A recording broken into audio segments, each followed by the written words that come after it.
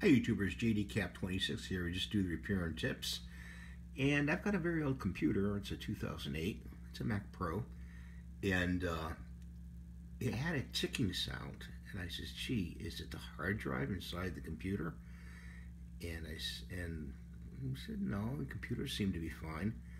The uh, hard drives, I mean, inside. And uh, um, I even tested them with one of the software that you can get online and they seem all fine. And I said, gee, where's that ticking come from? Well, guess what? It was coming from the speaker. Speakers, when they get old, the um, actual speaker material itself and the magnet will flex the um, that that membrane inside the speaker back and forth and cause like a ticking sound. It's a very old um, thing that happens to speakers.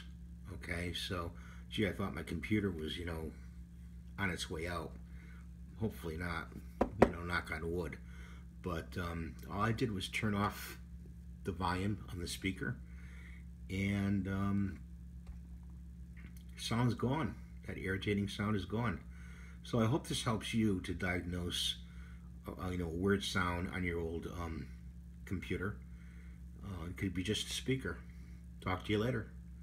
Please rate, subscribe, and share.